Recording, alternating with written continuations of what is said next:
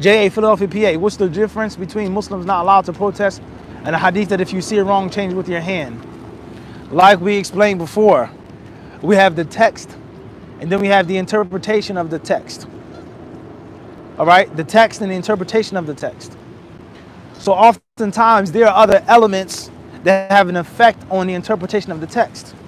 And that's the core foundation of madhab al-salaf, the way of the salaf is to try our best to take it back to the most organic interpretation and physical application possible. Possible. Versus those who take later interpretations and later applications, right?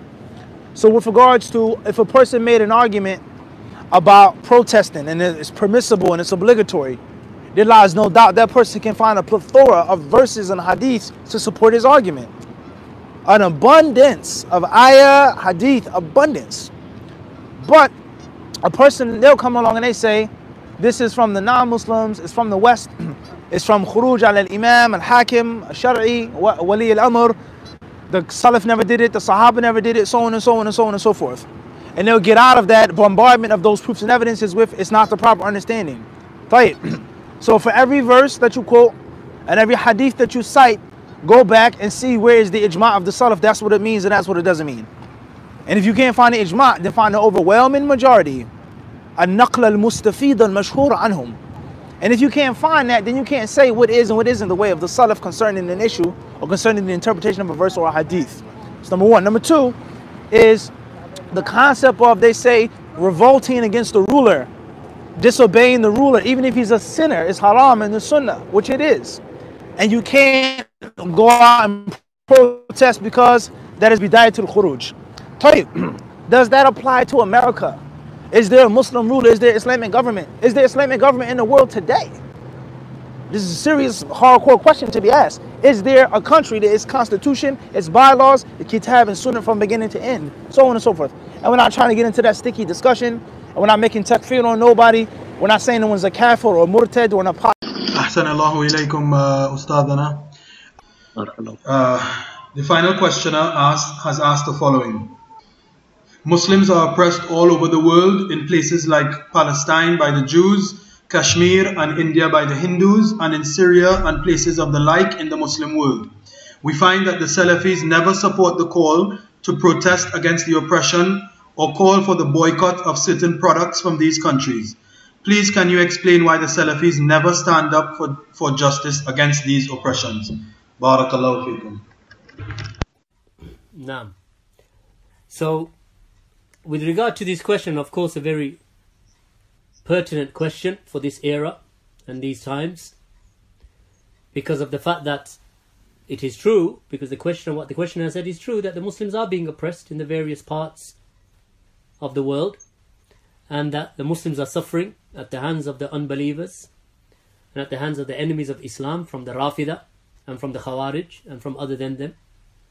So, when the when the brother or the sister, whoever asked the question, that the Muslims are being oppressed in various places like Palestine and Kashmir and India and Syria and other places, then this is true. This is haqq.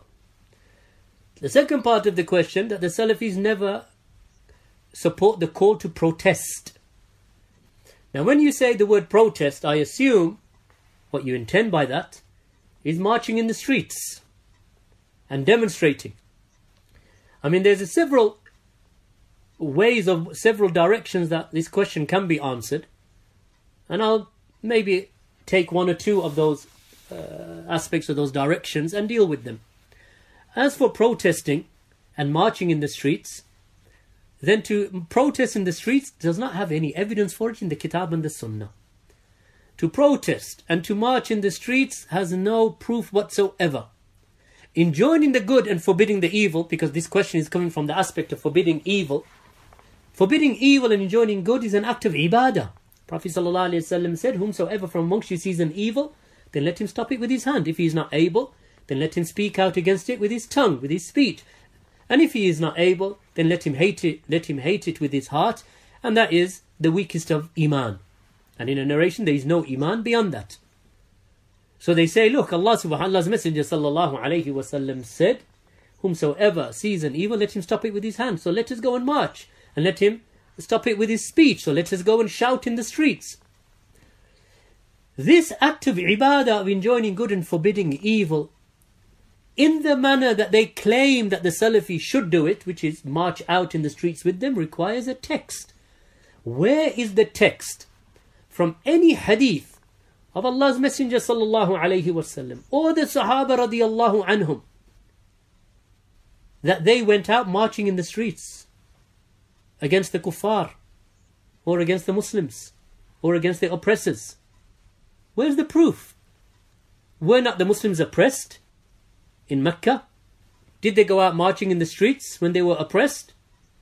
Did they call for the downfall of Abu Jahl and Abu Sufyan, who was the these were the heads in that time, and other than them? Did they call for their downfall, waving placards and conducting sit-ins in the Kaaba? Did the Sahaba and the Prophet ﷺ ever do that? If they did not do that as a form of forbidding evil, then why do you do it? If the Sahaba radiallahu anhum and they suffered oppression under Hajjaj ibn Yusuf and so did the Tabi'een, they suffered. Abdullah ibn Zubair, the Sahabi radiallahu anhuma, he was killed by Hajjaj ibn Yusuf and crucified in Mecca. And the Kaaba was demolished. Yet none of the Sahaba, this is after the death of the Prophet sallallahu over 40 or 50 years after his death or after the Hijrah rather. Yet, the Sahaba radiallahu anhum never demonstrated in the streets and they never protested. Why? Because this is not a legislated means of rectification. All this does is cause more upheaval. And if you want to see point and case and proof, then look at the Muslim world today. When they started their Arab Spring that they all celebrated, these Ahlul Bid'ah and the Takfiris, and those so-called democratic, you know, as the democratic groups of democracy within the Muslim lands, and Ikhwan al-Muflisin in Egypt and in Tunisia and in Libya and in Syria and in Yemen. Look at those countries now.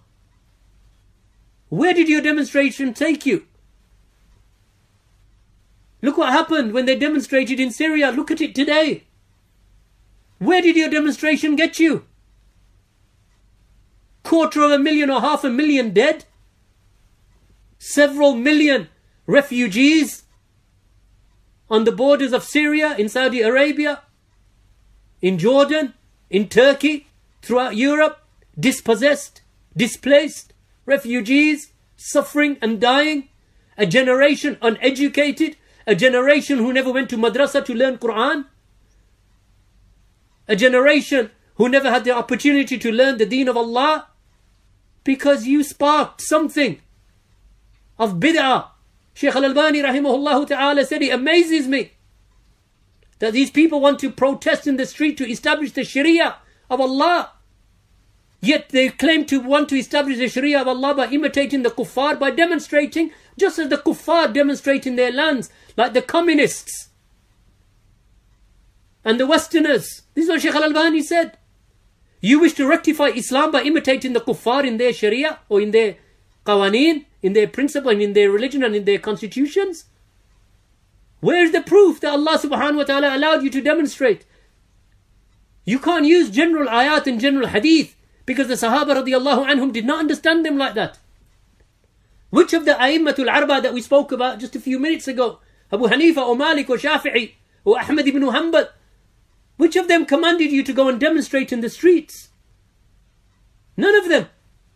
Where did this idea come from except it came from the kuffar, from Europe, and from China, and from Russia, and from the communists, and from the Bolsheviks, and from Beijing Square, when they demonstrated in the early 90s, and at the fall of the Berlin Wall, and the demonstrations that you saw in London and across Europe, so the Muslims looked at that and they said, we're going to do that in our lands. So they borrowed from the kuffar and they said, we're going to use their method to establish Islam. Look at the result. Look at the result. Why don't the Salafis support? You want the Salafis to support that murder and killing that resulted? Because Sheikh al-Fawzan was asked, he said, don't demonstrate. Sheikh Abdullah al-Bukhari was asked, he said, don't demonstrate. Sheikh Rabi was asked, he said, don't demonstrate. Sheikh Ubaid asked, he said, don't demonstrate. Sheikh Abdul Muhsin, he said, don't demonstrate. Because this is not from the methodology of the Sahaba. فَلْيَحْذَرِ الَّذِينَ يُخَالِفُونَ عَنْ أَمْرِهِ أَنْ تُصِيبَهُمْ فِتْنَةٌ أَوْ يُصِيبَهُمْ عَذَابٌ عَلِيمٌ Let those beware who oppose the command of the Messenger of Allah. That they not be that, that, that they may be over that they may be overtaken by a fitna, by a calamity, or that they may be punished with a severe punishment. This is what happens when you oppose the Messenger of Allah. Now the who when these people are commanding, when they're sitting in their houses and they're sitting in their hotels or they're sitting in, in London or they're sitting in Paris or in Germany and, and they're sending out tweets and Facebook messages and WhatsApps telling the Egyptians to protest. So you sit in your homes and relax whilst the butcher and the baker and the car mechanic is marching in the street facing the bullets. And it is his children who are dying now. Look at the picture of Syria before the demonstrations and look at the pictures of Syria today. Look at the pictures of Libya before the demonstration. Look at the pictures of Libya today. Look where the demonstrations led them in Tunisia. Open the door for the people of Takfir. In every place, the only people who benefited from them is, is Ahlul Shar. This is where your demonstrations lead you. Boycotting. Boycotting is not in your hands. The boycotting of the product from a particular land, from a particular people, is for the rulers to decide, not for you to decide. If the Muslim ruler and the scholars of a Muslim country who advise the Muslim ruler that such and such a product must be boycotted, or such and such a country should not be dealt with, then the Muslim ruler has the right to do that, like the Kingdom of Saudi Arabia, who since the inception of the state of the Jews till this day have had no diplomatic links with them and no business, link, business links with them. So the, so the Saudi Arabians are not allowed to deal with them anyway. But this is for the rulers, not for you sitting in, you know, wherever you're sitting in London or in Tobago or in Trinidad or wherever you're sitting or in Jamaica or in, in Washington DC or New York. You're sitting in your apartment flat and making fatwa that you can't buy these products and you can't shop in that supermarket. Who gave you the right to fatwa aslan? We mentioned who the right, who the, the right to fatwa is with who? Is with the ulama. And the ulama cannot pass a ruling upon all of the people for, for boycotting that affect the whole of the nation, what is allowed inside the nation and what is not allowed inside the nation. Except with the permission of the Muslim ruler. The Prophet ﷺ did not forbid trading with the enemy. In fact, there's a chapter heading in Sahih al-Bukhari. Sahih al-Bukhari chapter heading, chapter buying and selling with the mushrikeen and with the enemies of war. Ahlul Harb. That's the chapter heading in Bukhari. In this chapter, there's a hadith.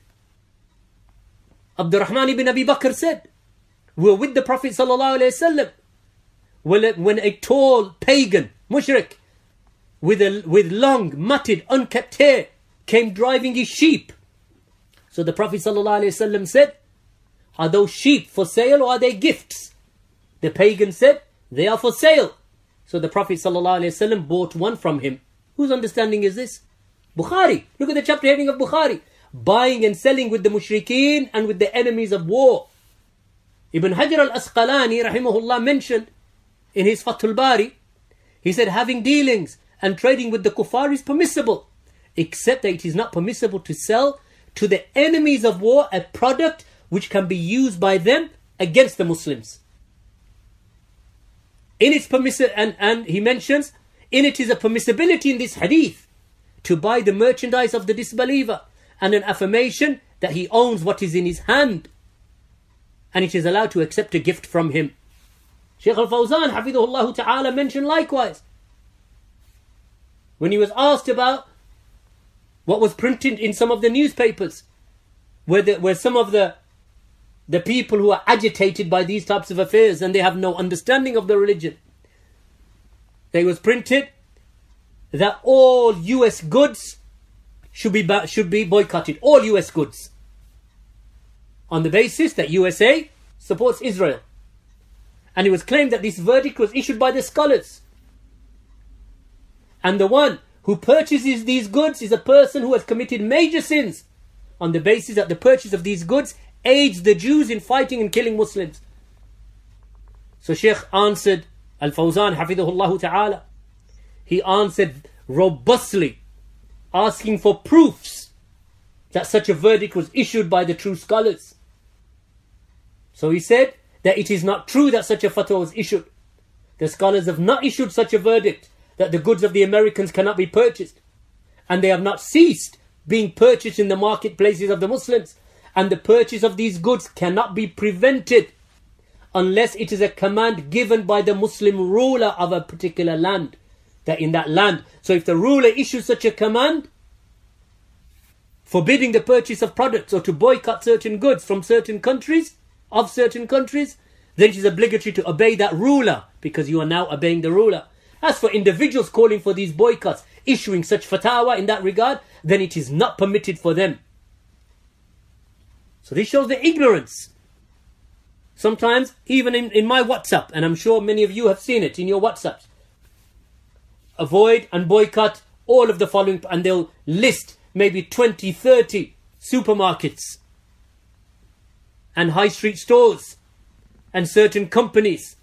Don't buy from them. Don't don't buy Coca-Cola. Don't buy Fanta. Don't buy Sprite. Don't buy 7-Up. Don't buy Nescafe. Don't buy Nesquik. Don't buy Perrier water.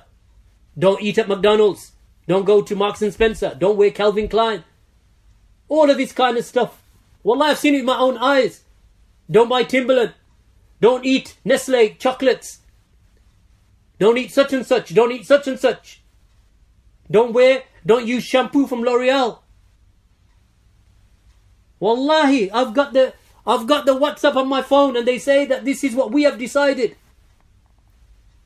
And don't sup even they said don't support a certain football team. Because they're owners or something that they are, one of them is a Jew or something like this. Allahu alam. This is the foolishness that we see. From where are you issuing this fatwa? It is not for them to issue these fatwa.